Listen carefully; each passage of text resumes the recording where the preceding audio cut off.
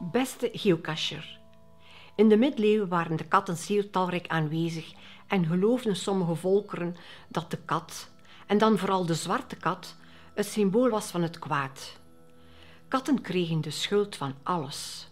Eerst als veroorzakers van de pest, later ook van alle ongelukken. Tijdens de heksenvervolgingen werd de zwarte kat ook mee op de brandstapel gegooid, omdat men dacht dat ze de nachtelijke vermomming was van de heks. In Yper wordt deze traditie nog steeds herdacht.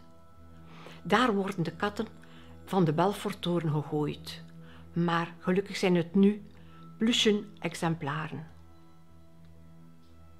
Welke dieren spelen nog een rol in het leven van de heksen? Ontdek het aan de volgende cache.